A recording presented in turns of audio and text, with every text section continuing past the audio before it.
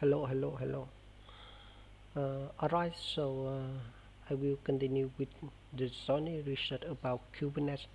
So topic today we will research about Kubernetes ingress ingress Kubernetes ingress so a question here is what is ingress ingress is both HTTP and HTTPS routes routes routes routes from outside the cluster to service.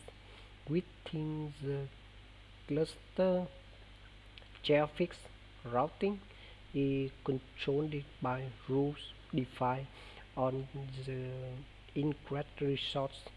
An ingress resource may be configured to give service externally externally reachable. URLs load balancing traffic terminate SSL, TLS, and offer name-based uh, virtual hosting.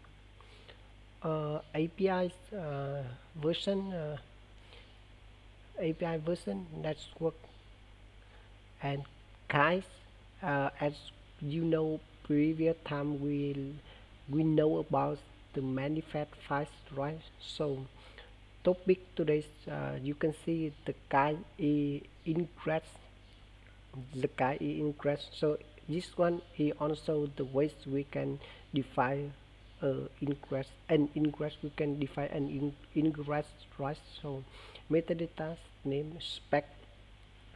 So for the ingress we have we have to define rules host http path path type backend service port path this one is another uh, a lot of service below here. Uh, so what is ingress controller? Uh, on its own the ingress resource do, doesn't do anything and, and you need to have an ingress controller installed and configure in your cluster to make ingress resource functional popular ingress controller include NGINX ingress Traefik and uh, uh, has has AP proxy has AP proxy so for this term maybe I don't know this one so uh, I would suggest we can research it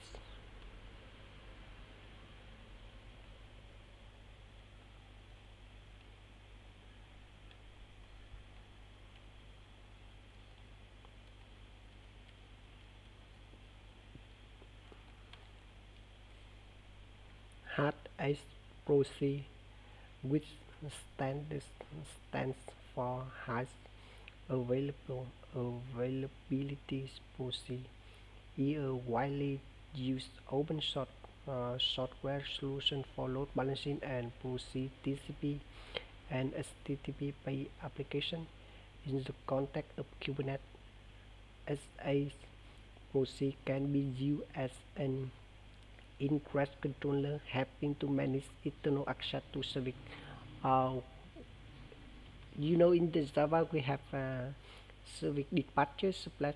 So for this term in kubernetes we can understand is like the controller we manage uh, we also call is called is like um, ingress uh, controller and helping to manage external access to service within the cluster accept within the clutter.